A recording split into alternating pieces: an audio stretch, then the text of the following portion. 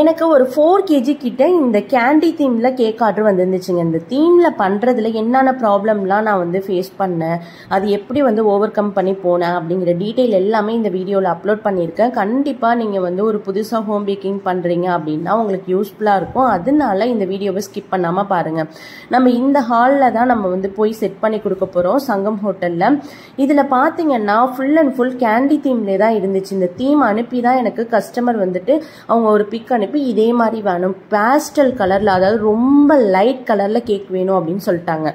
அதனால அவங்களுக்கு ஏற்ற மாதிரியே லைட் கலர்லேயே நம்ம கேக் ரெடி பண்ணிட்டோம். ஒரு டென் பீஸ் கிட்ட டோனட்டும் கொடுத்துருந்தாங்க ஆர்டர் இந்த டோனட்லாம் பார்த்தீங்கன்னா நான் முன்னாடி நாளே ரெடி பண்ண ஆரம்பிச்சிட்டேங்க. முன்னாடி நாள் ரெடி பண்ணிவிட்டு கப் கேக் மட்டும் வந்து அடுத்த நாள் தான். அதாவது காலையில் இப்போ ஈவினிங் வந்துட்டு ஒரு சிக்ஸ் ஓ கிளாக் போல் ஃபங்க்ஷன் அப்படின்னா காலையிலே அந்த நான் எல்லாமே அரேஞ்ச் பண்ணி வச்சுட்டேன். கேக் பார்த்தீங்கன்னா ரசமலாய் கேக் அப்படிங்கிறதுனால காலையில் ஒரு அஞ்சு மணிக்கிட்ட தான் எந்திரிச்சு ரெடி பண்ணேன். இதில் பார்த்தீங்கன்னா ஒரு ஃபோர் கேஜி கிட்ட நம்ம கிட்ட கஸ்டமர் ஆர்டர் கொடுத்துருந்தாங்க. அந்த ஃபோர் கேஜி ஆர்டரும் வந்துட்டு பார்த்தீங்கன்னா நான் எப்படி ஸ்கிப் பண்ணி பண்ணேன் அப்படின்னா கீழே வந்து கீழே உள்ள டயர் வந்து ஒரு த்ரீ கேஜி கேஜியும் மேலே உள்ள டயர் வந்து ஒரு ஒன் கேஜி கிட்டேயும் கேக் ரெடி பண்ணியிருந்தேன். ரெடி பண்ணியிருந்ததில் என்னாச்சுன்னா நம்ம ரொம்ப ஹைட் கேக்காக பண்ணியிருந்தோமா? ஹைட் கேக்காக பண்ணதுனால கீழே உள்ள அந்த ரசமலாய் கேக்கில் வேற பால் வந்து கொஞ்சம் ஜாஸ்தியாகவே கொடுத்துருந்தேன். டேஸ்ட் நல்லாயிருக்கும் அப்படின்னு சொல்லிட்டு. நான் பண்ண தப்பாக அதுதாங்க. ஏன்னா ரொம்ப ஜாஸ்தியாக நம்ம வந்து அந்த ஒரு லேயர் கேக் அப்படின்லாம் இருக்குன்னு வச்சுக்கோங்களேன். அதில் வந்து பாலாக இருந்தாலும் சரி சுகர் சிரப்பாக இருந்தாலும் சரி ரொம்ப ஜாஸ்தியாக நம்ம கொடுக்கக்கூடாது. அப்படி கொடுத்தோம் அப்படின்னா கேக்கோட வந்து வெயிட் தாங்காமல் கொஞ்சம் வந்து அந்த டவல்ஸ் வந்துட்டு மேலே வந்து நீட்டிட்டு நிற்கும். இல்லை அப்படின்னா கேக் வந்து ஒரு சைடு உட்காந்துரும் அந்த மாதிரி ப்ராப்ளம்ஸ்லாம் வரும். நம்ம பக்கத்தில் தானே அப்படிங்கிறதுனால நான் கொஞ்சம் கூடுதலாகவே கொடுத்துட்டேன். இந்த மாதிரி நீங்கள் கொடுக்காதீங்க. ஏன்னா டவல்ஸ் பார்த்தீங்கன்னா எனக்கு ஃபஸ்ட்டே நான் காமிச்சிருப்பேன். அந்த டவல்ஸ் மட்டும் மேலே வந்து நீட்டிட்டு இருக்கும்.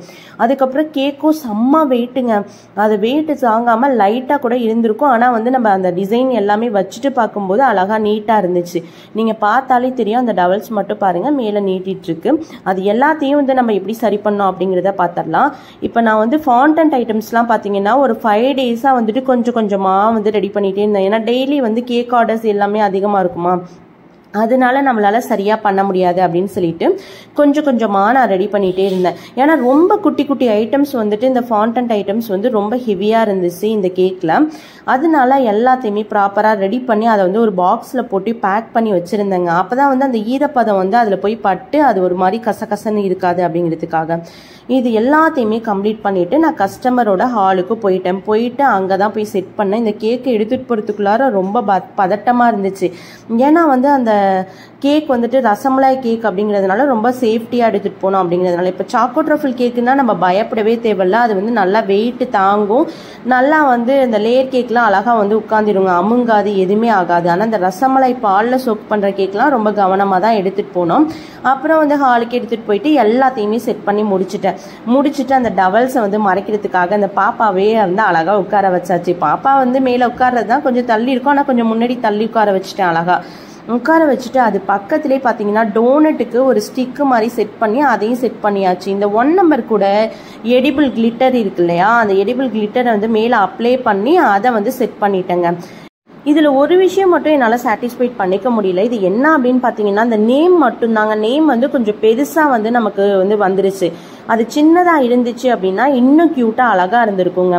இந்த ஒன் நம்பர் எல்லாமே ரொம்ப க்யூட்டாக அழகாக இருந்துச்சு. இதை ஃபாண்டன்ட் ஒர்க் எல்லாமே வந்து பக்காவாக முடிச்சுட்டு அதை அவுட்புட்டாக பார்க்கும்போது ரொம்ப சூப்பராக இருக்குங்க. ஃபாண்டன் பண்ணுறது தான் வந்து கஷ்டம். ஆனால் அரேஞ்ச் பண்ணுறது ரொம்ப ஈஸி தான். இந்த கேக் ஆர்டர் உங்களுக்கு பிடிச்சிருக்குன்னு நினைக்கிறேன். இந்த மாதிரி யூஸ்ஃபுல்லான வீடியோட உங்களை வந்து மீட் பண்ணுறேன் இந்த வீடியோ உங்களுக்கு யூஸ்ஃபுல்லாக இருந்துச்சுன்னா நம்ம சேனலை சப்ஸ்கிரைப் பண்ணி சப்போர்ட் பண்ணுங்கள் மறக்காமல் பெல் ஐக்கானை கிளிக்